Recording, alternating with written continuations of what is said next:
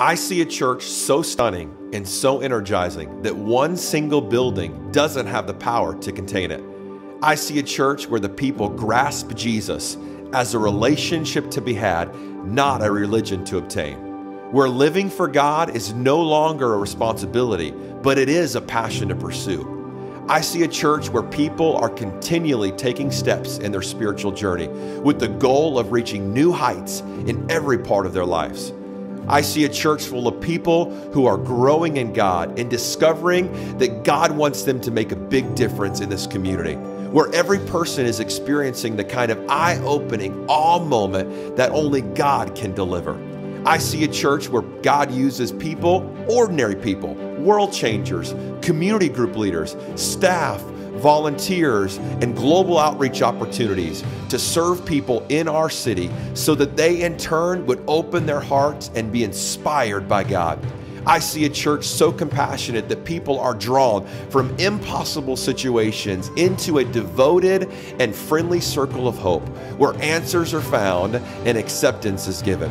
You see, the church that I see, it is so committed to raising and training and empowering a leadership generation of young people, pastors, and future church planners who will go from this place and be world changing agents. I see a church who cannot stop searching for lost people because God never stops searching for us. I see a people so kingdom minded that the number one agenda in their life is to unpopulate hell and overpopulate heaven. You see, the church that I see understands that one person cannot do this alone. The church that I speak of loves daily with the understanding of total and utter dependence on the Holy Spirit. See, I see a church that is about Jesus, all about Jesus. Why? Because the church I see understands that God is all about his people. And this is the church I see.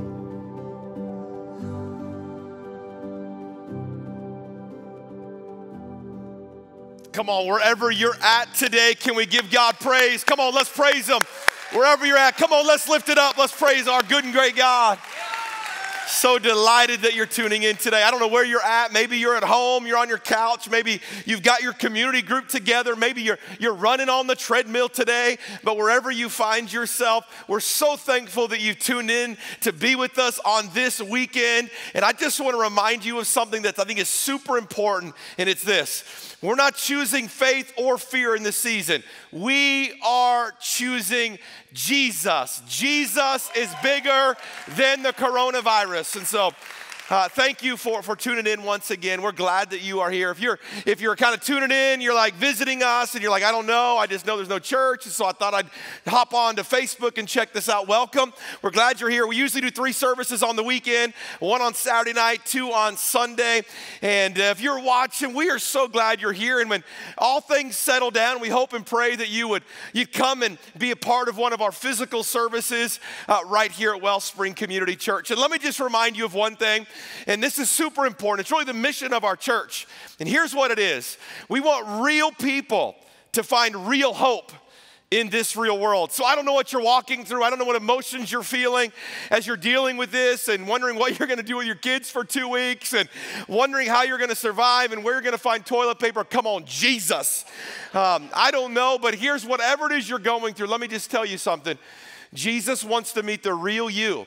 And if Jesus meets the real you, you'll meet the real him, and he'll change the real world around you. So if your hands are free right now, would you put those together and welcome all of our guests that are watching with us for the very first time? Thank you, thank you, thank you for being here. Well, let's be honest, times are a little bit crazy. Normally, for your, your personality or my personality, you're a planner. And if you're a planner, like this whole thing stinks because you can't even plan your next breath, let alone your next day. And so we're taking this day by day and day, uh, day by day, not week by week or month by month. And so we're just, we're praying and believing. And I just want you to know that wherever you're watching from, if you need anything, if you're in need during this season, if you need food, or maybe your kids are out of school and they need help, whatever it is, we want to be the church for you. We know that times like this can cause a lot of stress and a lot of fear. And we want to be the church for you. And I just want to say this to you as you're watching wherever you're watching. Listen, without us having church services, it makes it it makes it a little bit difficult for us to continue to sustain the vision that God has put inside of us. And so I'm going to ask you this from the bottom of my heart. I don't ever ask you to give. I'm just asking you to remain faithful. If, if Wellspring is your home and uh, you have grown at all uh, by being here, I just want to encourage you. I just want to put it up here. Don't tune me out yet. I got a word for you. But I just want to remind you if would you would just continue to stay faithful with your giving. You can go to ourwellspringchurch.com forward slash give and just remain faithful. We don't know if this is going to be a week or two weeks or we don't know how long it'll be. And so we just need, we got to continue to do ministry as a church. And so just continue to be faithful. So I'm ready to deliver the word. Are you ready for the word? Come on, wherever you're at, are you ready for the word today? All right, I'm going to deliver it to you. And I just think God wants to do something today in your life. And so I'm going to pray. Uh, don't close your eyes if you're on the treadmill, okay? But wherever you're at, if you're available, close your eyes. Let's just seek the Lord for just a moment. Father, we need you. God, we need you in this time. And you say this that you'll never leave us and you'll never forsake us. You say in your word that you'll draw near to us if we draw near to you, you'll draw near back to us. God, you say this that you, you cling to us closer than any other human being. And so we hold tight to that in this season. And God, we would be remiss if we didn't pray for President Donald Trump and we pray for the, the government and the elected officials as they're making these difficult decisions, sleepless nights. God, I know the weight that's on their shoulder. I know it. I feel it even as a pastor. So, God, I just pray that that wisdom would be divine wisdom from heaven for them to make the right decision. We worship you. Our hearts are open today to be able to see, receive what you have for us in Jesus' name. And everybody said, Amen. Amen. Well, here's how I want to begin. If you know me, then you know this. I love basketball. I, I love basketball. For me, it goes Jesus, family, basketball. It depending on what season I am, it may be basketball, family, Jesus. And, and I don't know, I'm just joking with you, but I, I love basketball. I think basketball is amazing. Here's how I want to begin. In 1993, there was these two teams. You had Dean Smith's North Carolina Tar Heels playing Steve Fisher's Michigan Wolverines. Now, the Wolverines in 1993, they had these five sensational players. They were freshmen, which just means it was their first year playing basketball in college. And what's interesting is they, they still have this name today. They're called the Fab Five. They were all incredible. Many of them went on to play basketball either in the NBA or overseas. And so we're in the championship game. The score is 73 to 71. Now, if, you've, if you know anything about basketball, you know exactly what happens here. Chris Webber gets the ball in the corner and they double team him. And so he does what any player would do during that, during that issue right there. He, he called what's called a timeout. Well, here's the problem the Michigan Wolverines did not have any more timeouts. And so when you have no more timeouts and you call one, you get issued what's called a technical foul. So, being down two, the Tar Heels went to the line, and the rest is history. The Michigan Wolverines ended up losing the game 77 to 71. Chris Webber's panic attempt to call a timeout will stick with him for the rest of his life. And wherever you may find yourself today, can I ask you a question? Whether it's coronavirus, whether it's in your marriage, whether it's with your family, whether it's with a financial crisis that you may be going through, would you just admit with me today that you may be going through a season where you need a timeout? And you're wondering, Jesus, do I have any more timeouts? Now, here's the good news about Jesus Jesus gives unlimited amounts of timeouts. However, if you don't call one, he won't give you one. And so if you're listening to me today and you're wondering like how do I endure this season whether it's coronavirus or something else can I just say this to you God is offering you a timeout and he has an unlimited resource of timeouts. Here's where I want to go over the next few moments no matter no matter what you're going through no matter what season you're in. Here's the thing that I think God wants to do today and it's the it's the kind of the epic statement. I, I, prepared a message earlier this week, and when all this went down, I spent most of the day on Friday preparing this new message. And God just dropped this statement in my spirit. And I think it's the big idea for the next few moments. And here's what I think God would say that you've got to replace your restless mind for a restful heart and soul.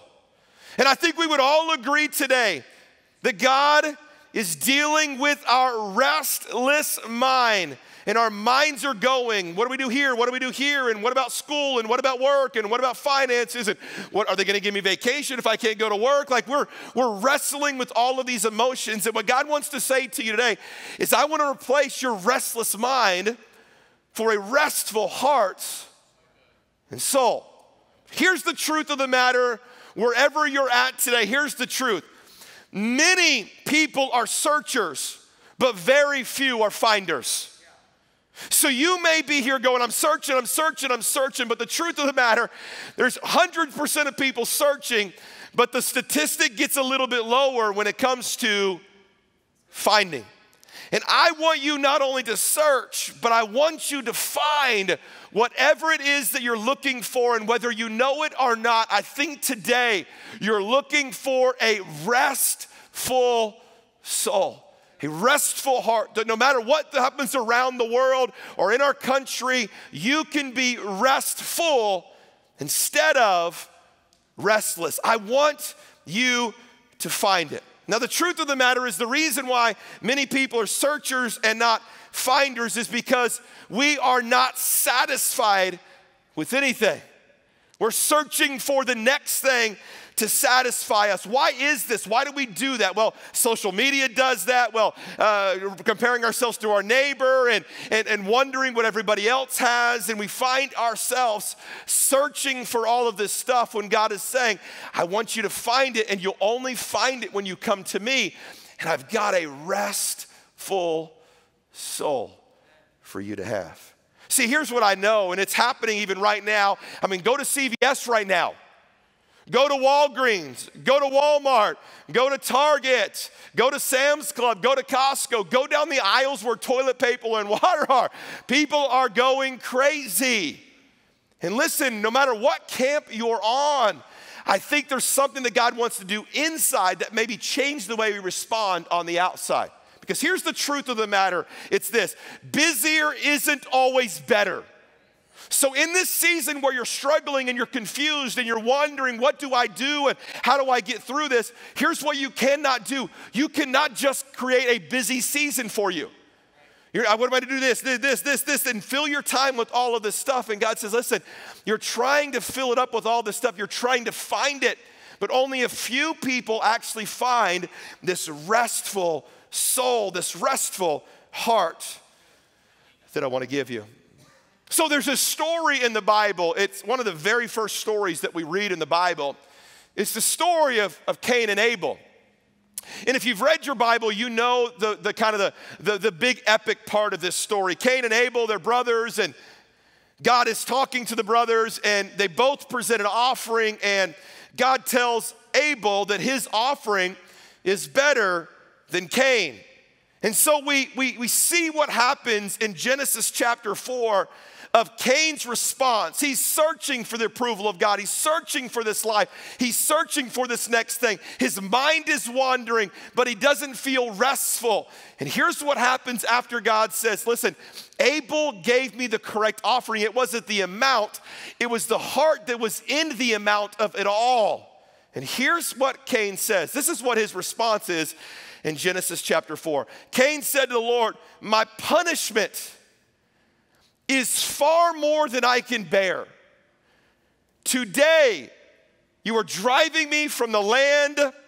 I will be hidden from your presence. And here's the word I will be a restless wonder. Can I ask you today? You don't have to answer out loud, but can I just ask you today? Do you feel like your mind is restless wandering? Will he do this again? Will she do that again? Will the coronavirus kill everybody? What, who do you believe? Do you believe CNN? Do you believe Fox News? Do you believe MSNBC? Like, what do you do? How do you? And your mind is restless wandering. And that's what happens when you have a restless mind.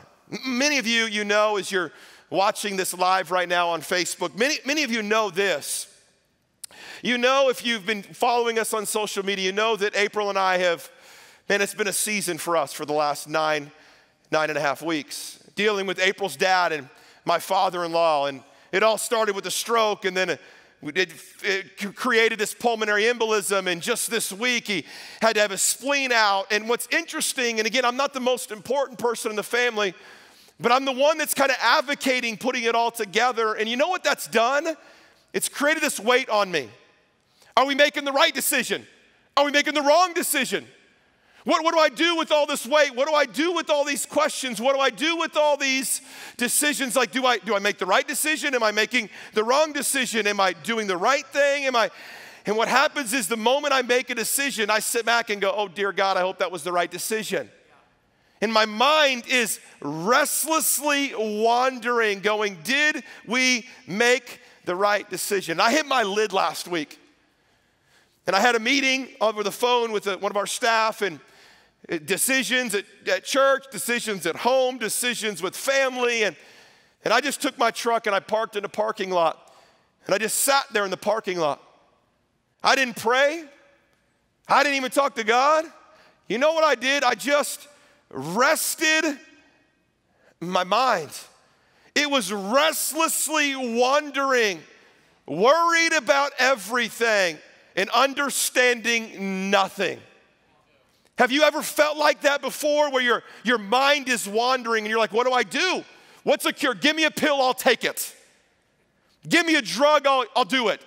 Give me a drink, I'll drink it. And for many of us in this, in this place watching today, you need to realize that our minds are restlessly wandering and we're trying to find all of these things to fill it. Have you ever been there before? Where your mind just can't stop moving.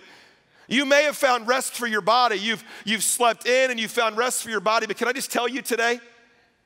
You need rest for your body, but what you need more is you need rest for your soul. You need rest for your mind.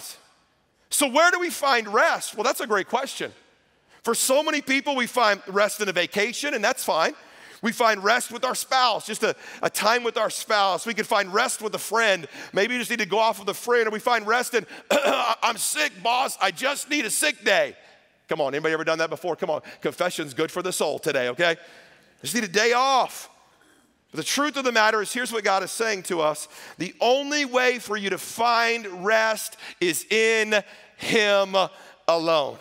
No matter what life throws at you, you can try it a myriad of different ways, but rest in Him is the only thing that will satisfy you. In fact, the psalmist said it this way in Psalm 62. He said, What do people, I'm sorry, sorry, uh, Psalm 60, 62 in Jesus' name. Psalm 62 says, Truly my soul finds rest alone in God. My salvation comes from Him. My salvation comes from God. There, I can wander and wander and wander, but the only wandering that I'll ever find true meaning in is when I rest alone in God.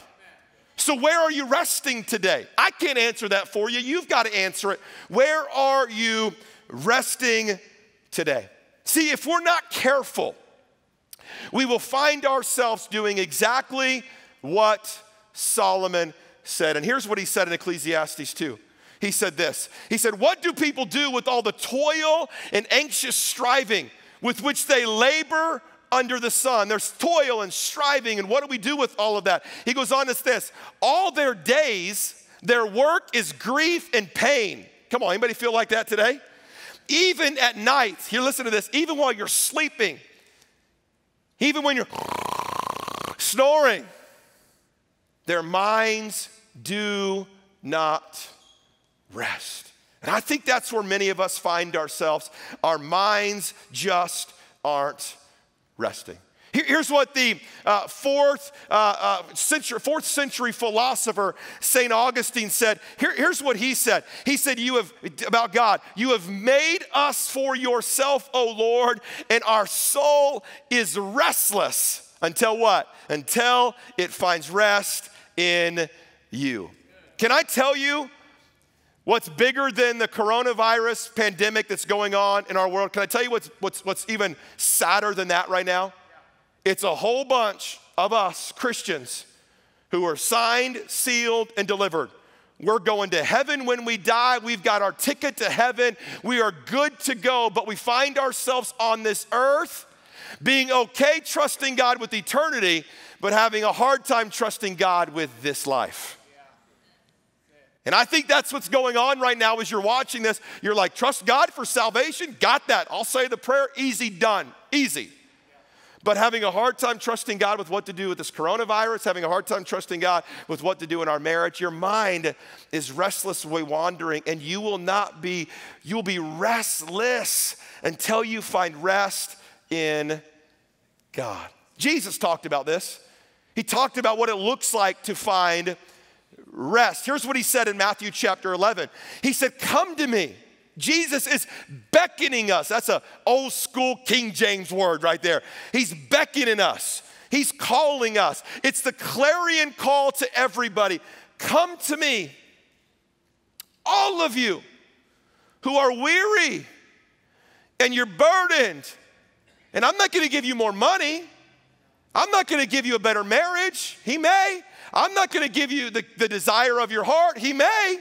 Here's what it says this is what Jesus says what I'm gonna do before I do any of that. Before I give you the desire of your heart, before I give you a better marriage, before I put a million dollars in your bank account when you wake up the next morning, before I do any of that, I'm gonna give you rest. See, what Jesus is saying is this I can't give you anything until you rest in me first. Wow. Take my yoke upon you and learn from me. It goes on. For I am gentle and humble in heart, and you, guess what? Here it is again. You will find rest. Jesus is clarion calling us, saying, Rest, rest, rest for your souls, not for your mind, but for your souls. For my yoke is easy and my burden is light. So, what do we do? Okay, that's cool, that's awesome, cute, fantastic, thanks. We tuned in today to hear something. What do we do? Okay, here's what you do I'm gonna leave you with three things, three super practical things that you can do. If you're, if you're admitting, like I'm admitting in this season, I'm admitting to you today. My mind is restless. Even my wife just a few hours ago said, You're preaching on a restless mind, and you have one. So I'm talking to you right now. I have a restless mind, and I want to replace it for a restful soul. Okay, it's one thing to ask for it, it's a whole other thing to know what to do. So here's what I'm doing, and here's what I'm asking you to do. Three ways for you to have a restful soul when all your mind is doing is wandering restlessly, like Cain said. Here we go. Write them down. Okay, get them down in your spirit. If you're driving, don't write, okay? But but but if you're having a place where you can write it, write this down. Here's number one. None of this is rocket science. It's a rem- reminder for you. Write it down. Number one is you're going to have to be still. You're like, okay, okay good, good, let's move on to number two. That's because you're not still. So if your first response to this one was like, okay, good, good, good, give me something else, you would probably need to not go on to two ever. You need to stay right here. Be still, be still, be still, be still. Stay right here, be still.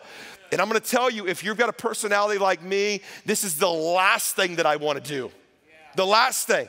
In fact, my wife has given me a lecture. I don't know what'll happen the next season, but we do know as of today that schools are closed in Florida for the next two weeks. And she's got she's mentioned three times to me.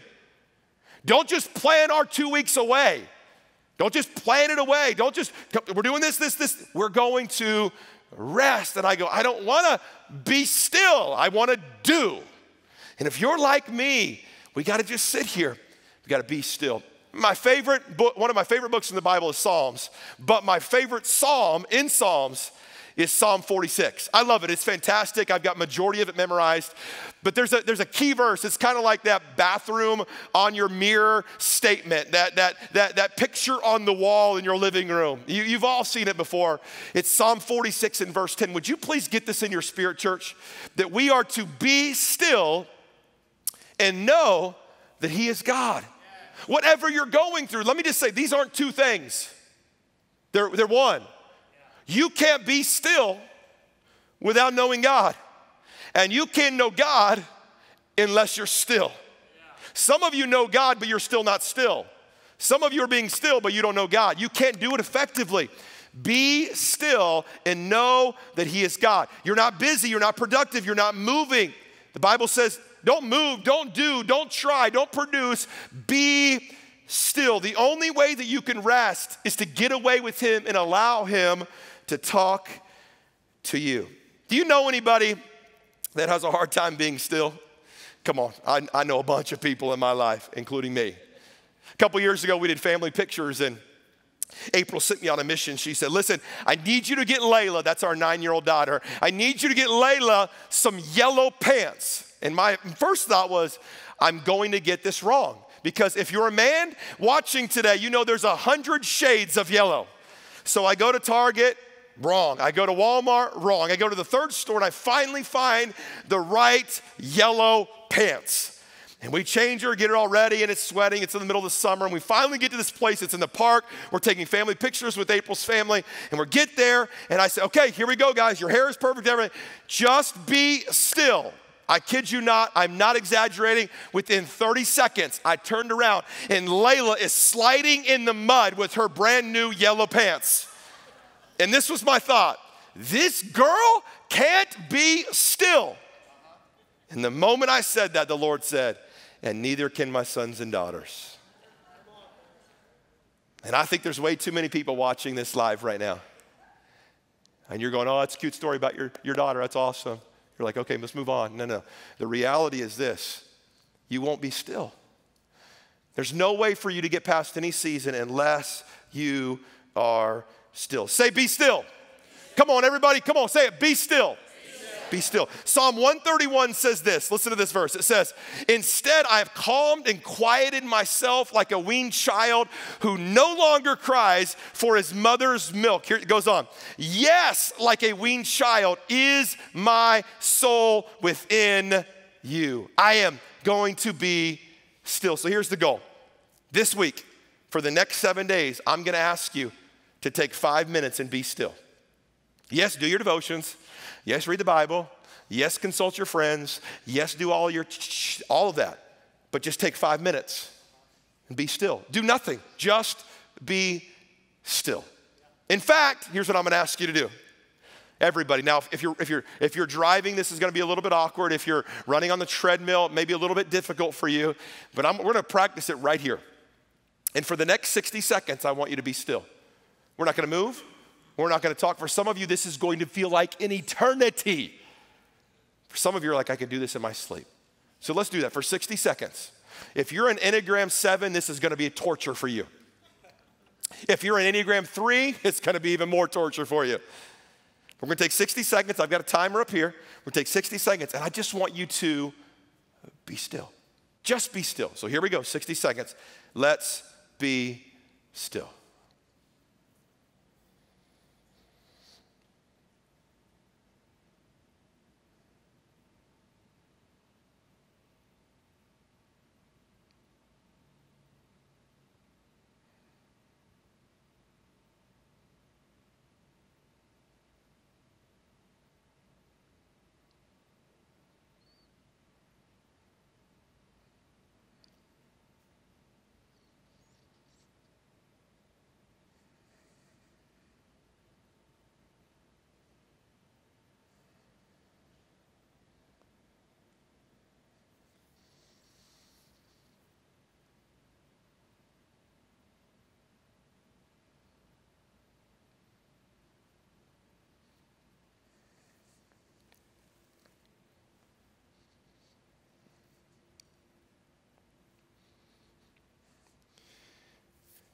60 seconds is over. Torture chamber is over, okay, guys? Some of you, that felt like an eternity. But for some of you, that was the best 60 seconds of your day. You weren't having to produce, you weren't having to meet, you weren't having to do anything. You were given permission just to be still. Whatever you're going through, the first step is to be still. Here's the second, write it down. Write it down. Be still. After you're still, the second one is you're gonna have to be patient. Be patient. To which you go, I had a hard enough time with number one, I can't do this one either. Be patient. Here's what the psalmist said in Psalm 37. He says, Be still before the Lord, and here's what he's asking us to do, and wait patiently before him. I, I, have people tell me all the time in the profession that I'm in, they tell me, How do I hear from Jesus? I just want to know I heard from Jesus. Like, how do I hear from God? And here's what I tell people here's, here's the method to hear from God be still and be patient. To which they say back to me, Okay, well, how do I wait patiently? How do I wait patiently for this coronavirus to end? How do I wait patiently for this thing to be over? How do I wait patiently for God to, sh- how, how do I wait patiently? Well, there's a lot of different ways, but can I tell you the fail safe way for you to wait patiently? The Bible says we are to wait patiently in His Word. In His Word, His unfailing Word. In fact, Psalm 130 says this it says, I wait patiently for the Lord. My whole being waits in where? In His Word. I put my hope. So, so what are you telling me? Just to sit back and just do nothing? I'm just, just to be patient and all of this? No, no, no, no, you're missing the point. Listen, write this down, get in your spirit. Don't just wait patiently, wait expectantly. Go to God boldly. In fact, Hebrews chapter 4 says this that we are to approach his throne boldly. Come on, moms and dads watching. One of the things that you want to do more than any other thing is to give to your kids. If you had it all, guess who would get your all? Your kids, your grandkids. If we think the same way on this earth, how much more does God want to bless his kids?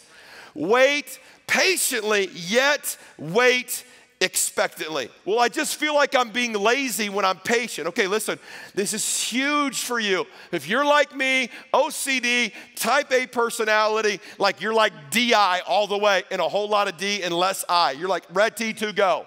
Let me help you with this. This is huge.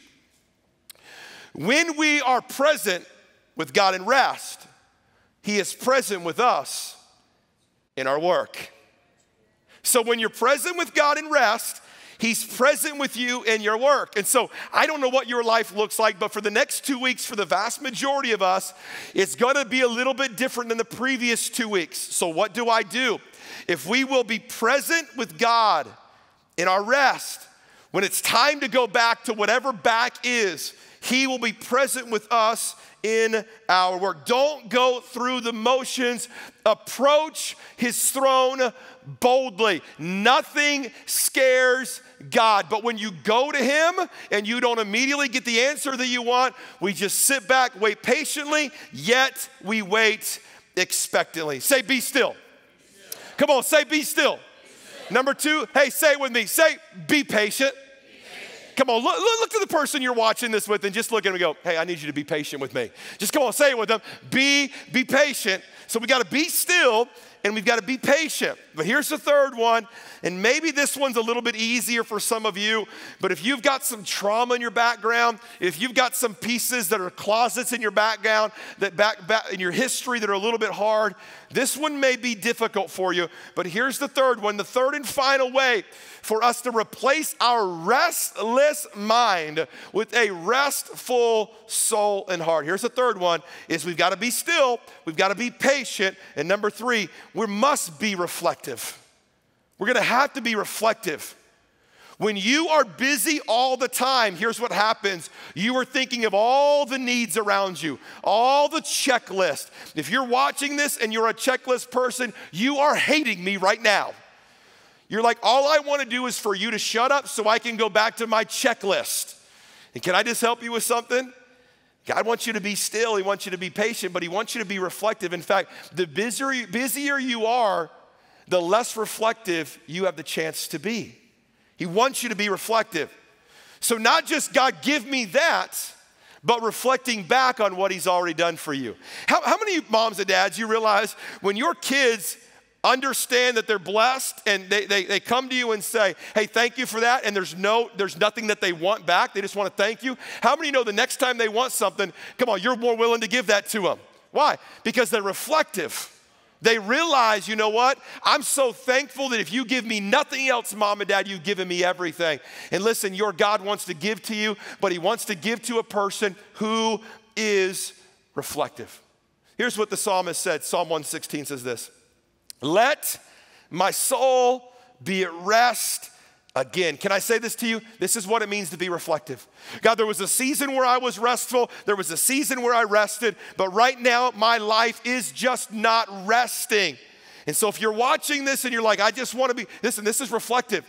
Just go to God and say, listen, my soul isn't at rest.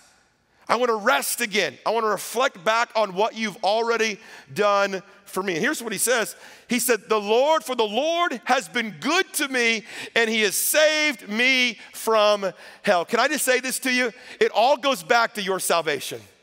Everything goes back to your salvation. You got to remind yourself that when you were a kid or you're adult or last week, the moment that God says, I'm going to set your feet on solid ground and I'm giving you heaven.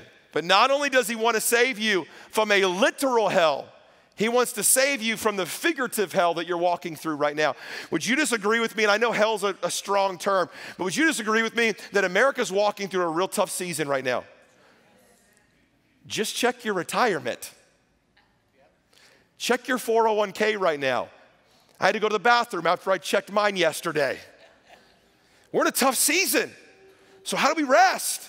We got to be still, we got to be patient, must be reflective and to realize He's good. He saved us from hell, and He'll save us from the hell that we're walking through right now. Amen. And what He did, my tears, He saved me from my, my eyes of tears. He saved me from this past season. He saved me from that lost hope. He saved me from that season where I cried myself to sleep. He saved me from that seasons where I lifted my hand up and said, God, I don't know where to go from here. I'm no longer there. My eyes, He saved me from my eyes that were tearful. He saved me when my feet we're stumbling, Psalm 116 says. It's that season of your life, that regretful season, when you did the, oh no, I wish I could take it back. When your feet stumbled a little bit, we be reflective because we remember we're no longer where we used to be. God has saved us. He's set our feet back on firm foundation. And can we just praise God? You may not be where you want to be, but can we just declare today, you, you may not be where you want to be, but praise God, you're not where you used to be. God loves you. He's for you. He's given his entire life for you. We've got to be reflective. I just took a second Friday and I just started writing some things that I need to be reflective about. Maybe this will this will help you. I just want I'm gonna preach these at you, all right? I want to remind you that Jesus will never leave you and will never forsake you. He has answered your prayers. You are forgiven. The old is gone. The new is coming. He is the Lamb of God and He's the Lion of Judah. He's the Alpha and the Omega, and He is working all things for your good. He says to you, I'm going to bless you on the way in and I'm going to bless you on the way out. And He says His plans for you are to prosper. You've got to be reflective. You've got to be reflective on who God is and what He's doing in our life. Let me land the plane, get you back to your day. Let me land the plane by saying this. I want to give you one thought and then one story that we're going to pray together. Here, here's, here's something that you need to know, something that you must understand today is this. We generally see what we look for. We'll find what we search for. And guess what today? You'll experience what you expect. Let me just say this again. Listen, get this in your soul, in your soul. It's going to replace that restless mind with a restful heart and soul. Listen, you will see what you're looking for. Don't let these eyes deceive you. You'll see what you're looking for. You'll find what you're searching for. And you'll experience what you expect. When was the last time you went to Walmart or to Target or the mall if you like the mall. And you got there, and you, before you got there, you were on a mission. You were like, I'm going for this one thing. And you were on a mission, and you you just got there and you're, you're, you're blindfolded. You're like, I'm not looking. I'm just, I'm going after this one thing. And you got it. And you got back in your car and like, man, I got that one thing. That's what I came for. But how many of you know this? There are times when we say this I think I'm gonna go grocery shopping. And how many of you know whatever what is in your cart is more than what you expected to be in your carts? You know why? because we generally see what we're looking for and we'll find what we're searching for and we'll experience what we expect. Can I tell you this? Just like you're shopping at Walmart, God is the same way. That He wants you to walk into the Walmart God has for you. And don't be blinded by the candy aisle. Don't be blinded by the BOGO that's right over here that says, listen, this is a buy one, get one free. Don't be blinded by that. How many of you know the buy one, get one frees are never good for you? It's always the chips, it's always the soda. Like, like they never put the bananas buy one, get one free. Come on, I'm preaching to somebody.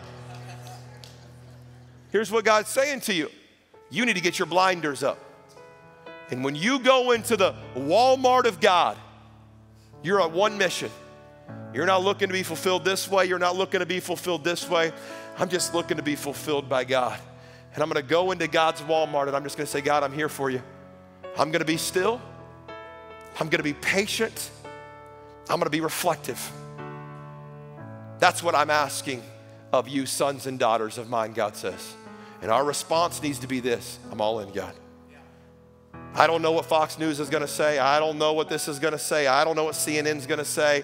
I don't even like the president. I love the president. He's doing a terrible job. He's doing a great job. I hate government. I love the government. I. Can we just get rid of that? And can we just say this? God, we're trusting you. And through all this craziness, we're going to be still. We're going to stop. And our foot tapping, and we're so nervous. We're going to be still. We're going to be patient and realize God's timing's better than my timing. And we're gonna be reflective. We're gonna be reflective. God, we're asking you to fix this coronavirus thing, but God, if you choose to go something different, we're gonna trust you all the way through. Because we don't store up treasures on this side, we're storing up treasures on the other side. So if you love Jesus and your hands are available, can we give him praise together today? Awesome. So I want to pray for you. Wherever you're at today, I'd love to pray for you. So if you can, if you're available, would you just bow your head and would you close your eyes? Now, if you're driving, listen, be safe. We're not asking you to not be safe. But I think God wants to do some business with you just for, just for a minute before I get you on with your day. Maybe you're here today, wherever you're at. And by here, it could be on the treadmill. By here, it could be at home with your community group. By here, it could be driving in your car. But wherever you're at, at here, this place, and you're having a hard time being still, would you just allow God to talk to you right now? Maybe you're here and you're, you're, having, you're having a hard time being patient. Maybe wherever you're at, you're having a hard time being reflective. I want to pray over you. So, would you bow your head and close your eyes? Father, I pray for each and every person that's within the sound of my voice, saying, God, I need you. I want to be still. My mind is restlessly wandering in a hundred different directions. I'm choosing today, right now, to be still and know that you're God. That if we can't be still, then we got to ask ourselves, how much are we trusting you? And God, we're choosing to be patient. And God, we realize this while we wait patiently, we're also going to wait expectantly into believing you're for us. So we're making a commitment today to wait patiently. But God, we're also going to be reflective. We're not just going to continue to come to you like you're like you're just some cosmic Santa Claus with our massive list. We're coming to you saying this, God, thank you for what you've already done. God, if you do nothing else for us, you've done enough. But God, you ask us in Hebrews 4 to come to the throne boldly. So, God, now that we've been reflective and we've thanked you with a pure heart, we coming before you saying, God, would you, would you do this? Now, with your head bowed and with your eyes closed, as you're watching this, maybe, maybe you're visiting with us, maybe you've never crossed the line of faith. I want to give you an opportunity, wherever you're at, to put your faith and trust in Jesus. So, would you say something like this? If you, if you need to trust Jesus with your eternal soul, say, say something like this to God. Just say, Lord, you're my Lord and Savior, Jesus. I need you. Thank you for the cross that you died on. I thank you for the resurrection, that you're no longer in the grave. And I'm choosing to trust you. I'm worshiping you today and for the rest of my life. And Father, as we close out this moment today, we're closing it out this way. Father, you are bigger than the coronavirus. You are bigger than disease. You are bigger than cancer. You are bigger than any ailment.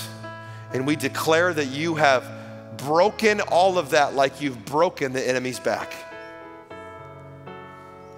So, God, we're not choosing fear, but we're not even choosing faith. We're choosing you because you will never leave us and you'll never forsake us.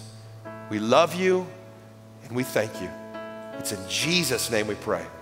And everybody who's watching said, Amen. Come on, can we give God praise? Come on, can we praise Him?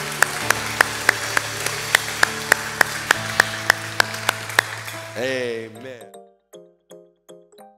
Thank you for watching Wellspring Online. Don't just stop here. Join our family by following us on social media at WellspringFL and by subscribing to our YouTube channel so you don't miss any videos or live streams. And don't forget to share this with a friend.